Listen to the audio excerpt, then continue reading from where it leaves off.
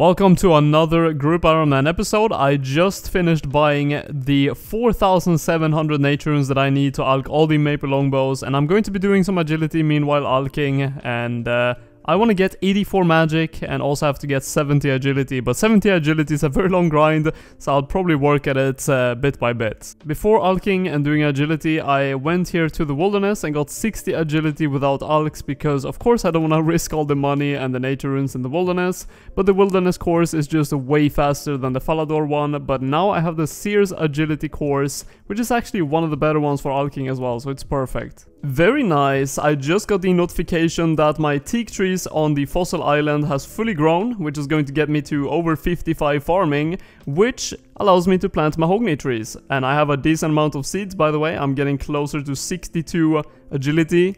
Um, but let's go and get that 55 farming first and plant the new trees. Look at this, so beautiful, should be 55 here, there we go.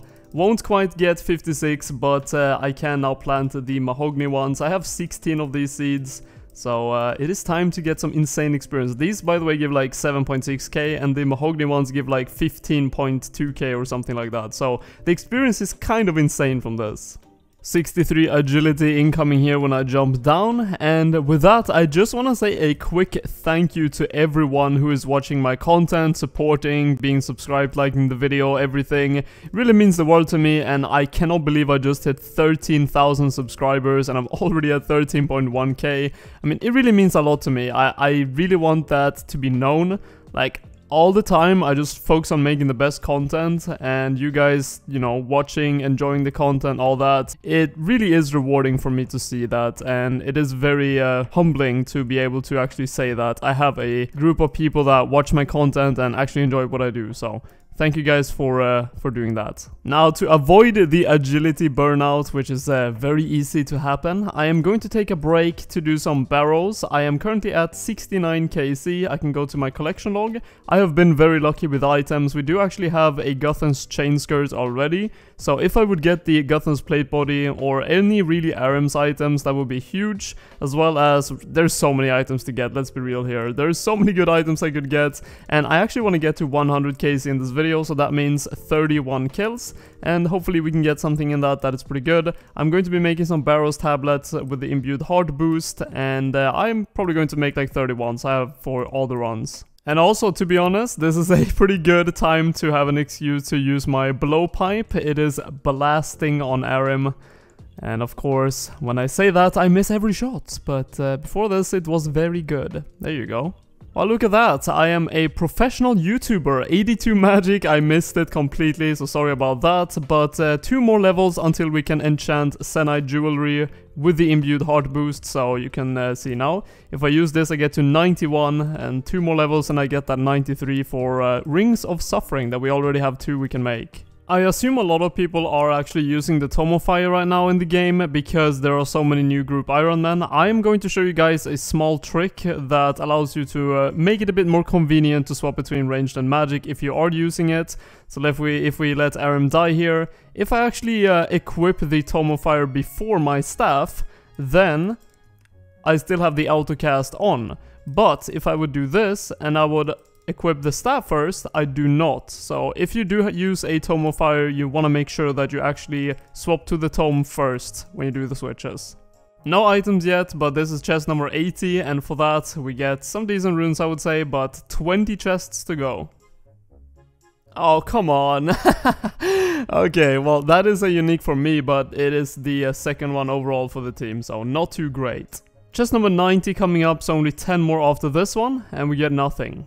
It is time for chest number 100. After this, we're going back to agility, but it was a fun detour. We got 211,000 magic experience, and the last chest is going to be some runes again. But nice, 100k looks good. We are getting very close to 84 magic, about to get 83 here, alking while doing agility of course, so only one more level to go now. Taking a break here at 65 agility, just hit it. We're going to complete Death to the Dorgeshuun quest, which requires Lost Tribe and Death to the Dorgeshuun, to hand in some long bones and curved bones for some free construction experience. Should be the Lost Tribe completed, a very fast quest. The Death to the Dorgeshuun is a bit longer, but still a pretty easy quest coming up. And that is the Death to the Dorgeshuun quest completed, so let's go and get some free construction experience inside of the city. So let's see how much experience I get for all these bones. It is actually going to be quite a lot, I think. I'm currently 48 construction, and we also get some coins. So let's see, 40,500 experience and 10,000 coins. And uh, that gave me all the way to 52 construction, so 4 levels for that, very nice. Now I just woke up and that's why my voice is a bit different, but I just want to say that I woke up, I read some comments on my uh, latest YouTube video talking about how I wasn't really doing much for the team in terms of helping out, giving supplies to the group storage and stuff like that, and I want to just explain this real brief because I don't want to talk about it too long, Oh, give me one sec. So overall, since the beginning, if you watch my series, you know that I talked about doing Zulrah very early into my series and that's always been the goal. That's why I don't really even use the Toxic Blowpipe that much. I have it in the uh, group storage here for other people to use. And also I lended out my Serpentine helmet for Dovydas when he was doing the Vorkath grind for the Ava's accumulator upgrade. Overall, I have put in a lot of items, but I just don't show it because I don't feel like it's that interesting to be like, oh yeah, I just put in like 25 Ranarr seeds from Wintertodt, or you know, a thousand logs or something like that. I do put in things regularly, like I put the Karil's Crossbow in, I don't need it. I have put in a lot of herbs for Dark World Orders, uh, Herb Grind, uh, Adamant Bolts from Soul Wars, all these kind of good stuff, the Malediction Ward and the Dragon Halberd. So don't worry guys, I am putting things into the group storage, I just don't show most of it because I don't feel like it's that interesting unless it's a very important thing I want to put in. Our new team member Doug has been doing a lot of Tempoross and he's got like over 6,000 raw swordfish so I actually decided to buy 2,000 off of him because I want to work on 70 cooking in the kind of near future for Barrows gloves. It's not my highest priority but it's just nice to have it banked and I actually wanted to pay him in pure cash because he needs it for runes and stuff like that but I actually couldn't do that. I put money into the storage hoping that it would work. Also traded him but that didn't work either so I put 460k in for the sword swordfish, but uh, it's only three days left until the restriction on new members, where you can actually trade whatever money you want over, is lifted, so that is the time he will be able to take that money. So a bit of a two in one here, I am completing the family crest to get both the gold smithing gauntlet and the cooking gauntlets because of course I need that cooking gauntlet for 70 cooking and I need the gold smithing gauntlet to get my 70 smithing for the future Song of the Elves quest I want to do. So I just completed that real quick and uh, I will be able to get those gloves whenever I want to. You basically just turn these steel gauntlets into whatever gloves you want. I'll probably end up doing the cooking first, so I just got the cooking gauntlets, you have to pay this guy 25k. By the way, if you don't know what this is, I think most people know, but I'm sure there is someone who hasn't done this before. These gloves actually decrease the burn rate of lobsters, swordfish, monkfish, sharks, and anglerfish by quite a lot. So if I have these with swordfish, I shouldn't really be burning any of them, and you can turn them into the goldsmith gauntlet if you want as well, for only 25k, and that gives goldsmithing 2.5 times the experience. So instead of 22.5 experience per gold bar that you make at the blast furnace, you get 56.25, which makes it like insane experience an hour and pretty cheap as well just felt like doing all the wines as well that I had, so I had over a thousand in my bank, and that is going to be more than 200,000 experience. If you don't know how this works, by the way, you just put the grapes into a jug of water, and it basically just stacks up the experience as long as you want. So you can see the timer above my inventory is uh, resetting all the time. When this timer runs out, I will get the experience for every single wine that I've created, and uh, I don't have that many left, so you're going to see a massive experience drop in just a bit completed the last wines and in 4 seconds, let's see that XP drop, I'm 60 cooking and 197,000 got me all the way to 65, actually almost 66 and now I should have enough raw swordfish in the bank to get all the way to 70 whenever I feel like doing that. But now after all that, I am going to sit down in my chair and complete 70 agility and uh, first level coming in here after this tightrope, 67 agility and we're up at 468 laps so far in this video, but let's uh, get 70 agility. And here we have 68 agility, two more to go. And this is the jump for 69 agility, so only one more level to go after this one. Feels good to soon be done with agility. And a very nice additional thing, on top of getting 69 agility, I just reached the amount of Mark of Grace I need to be able to buy all the last pieces of the graceful set. Wait, do I not have that? Yeah, I do. Okay, there's the gloves. And that is the entire graceful set completed. Also, I was gifted a decent amount of items to Alk meanwhile doing agility to get at least some magic experience as I'm going to be putting in the money back here to Dark World Order who was the person that gave me all the stuff and I think he's going to use all this money on smithing. Now before I go and get 70 agility, I am actually going to start doing a lot of herb runs. I'm starting with Avantoes and I'm going to work towards doing a lot of them in general because Dark World Order is getting pretty close to stamina potions and I do want to help him as much as possible with that and I kind of have been slacking with herb runs in general so I feel like it's my time to do this. And finally, it is the last jump over this edge for 70 agility and we are done with agility for probably a very long time after this, so very nice to have that done. 70 agility and also we got 23 more marks of grace which is 200 Amylase crystals for stamina potions which is equal to 50 for those stamina pots when we can make them so that is pretty nice. Something I should have done a very long time ago, but isn't that bad that I skipped, is Tears of Guthix, because how long you can be in here and get more experience is dependent on how many quest points you have. So if I would have done this at like 50 quest points, the experience would be minimal, but now at 153, I can actually collect quite a lot of experience every single week from here. 98 tiers, and uh, that's going to go into rune crafting. I think I'm 25 right now, so let's see how many levels I get. 25 to 28, so almost 4000 experience for free in a very slow skill, so it is very good to do this. So looking at the Song of the Elves level requirements I still need, I do need 70 wood cutting and I'm actually already pretty close to that from just Wintertodt, and we do have a dragon axe that I got to borrow and I am 67 right now. I'm going to do all the way to 70 on Sulliuscep mushrooms, or however you pronounce that.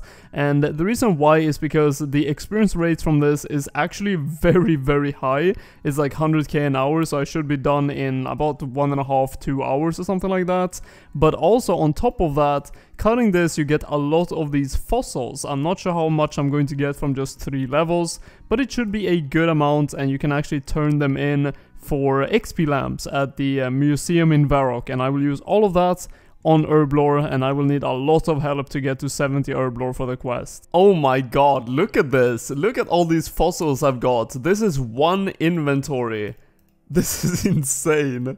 But here we go, this is going to be 70 wood cutting and a random event as well. But yeah, that was super fast and let's actually go and clean all the fossils that I have now and see how much Herblore experience we can get for it. I will just uh, quickly show you guys how many I have. It's not a massive amount, but for the short amount of time I spent here, like one and a half hour, it is absolutely phenomenal. 20 small, 9 medium, 12 large, and uh, these rare fossils are unfortunately useless. So this is all the lamps that I could get, which is very nice for the amount of woodcutting I had to do. So let's put it all into Herblore, 2k. Dude, this is going to be so nice. 3.5k. We will see at the end here how much the total experience was. I was uh, 44 Herblore before using all these lamps. So let's see what I'll get to. By the way, the large fossils are 5k each. So the experience is actually kind of nuts from this, so let's uh, use the last one. And the overall experience that I got was 30,000. That is actually insane from doing that little amount of woodcutting and we got all the way to 48, almost 49 from 44. But now it is time to finish off 84 magic so that I can imbue the future Rings of Suffering. By the way, I think Max Nick has actually got overall like 5 Zenytes now. It's insane. He's been super lucky, but I think we're going to make two Rings of Suffering, and Dovydas is at 84 and a half crafting. I think he's going for 85 to be able to easier boost than with Stews. So uh, yeah, let's get that 84 magic by Ice Bursting. I have quite a lot of runes. Now before Dovydas can actually make the Ring of Suffering, he needs to complete Monkey Madness 2 himself, and he is going to do that tomorrow. So there is no mega rush of getting 84 magic. I still want to get 84 magic though in this video, so that is going to be done but I am going to take a quick break here before he logs off. You can see here in 20 minutes he is logging off. And what I'm going to do is I'm going to spend basically most of my money to buy an Onyx and have him make me an Amulet of Fury. And then in the next one, I will get the Ring of Suffering. And there we go, that is all the Tokkul I need to buy an Onyx, 260k. So let's buy that, and let's go and get that Fury. And here we go, that is the Onyx Amulet U, and if I put a ball of wool on that, I will get an Onyx Amulet, and then I just have to boost a bit to be able to enchant it. But that is now an Amulet of Fury, whenever he accepts. He didn't scam me, very nice. Sheesh, look at that Onyx Amulet, dude. Now I just have to enchant this. And uh, there we go, 97 magic experience. Let's compare the Amulet of Fury to the Glory. I have the Glory equipped, Oh my god, look at that. Plus 2 prayer, plus 2 melee strength, and 12 plus in all defenses. And it also looks super fancy. And it is not only me who has an Amulet of Fury. Now, we could actually make 3, I have 1 equipped, and then 2 I will put into the storage that I just enchanted, so that will be very nice for the team. As I was kinda stuck on the normal spellbook after that, I just decided to Alch for the last experience, and this is 84 magic achieved, so now with the Imbued Heart, I can reach the Zenyte Jewelry Enchant, so whenever we get that Monkey Madness 2 done by Dovydas, we can make Rings of Suffering. So I have been keeping up with the farm runs as much as I can, but I also ran out of compost for a bit, so I had to make some new ones, but I'm at 200 Avantoes roughly, and I have of course Avantos seed planted, and I have still 10 in my bank here, as well as in the storage, we have 28 more, and all of those will go into super energies that we can then turn into stamina potions, which is the key to being able to do Zilyana. The uh, Commander Zilyana in God Wars Dungeon drops various different things, and I want the Armadyl crossbow mostly for Max Nick, because he is, as a madman, planning on doing the Inferno pretty soon, and that would be a very good item for him. So hopefully expect some Zilyana in the near future, but until next time, this is the end of this video. Hope you guys did enjoy it, like it if you liked it, subscribe if you want to see future uploads, and take care.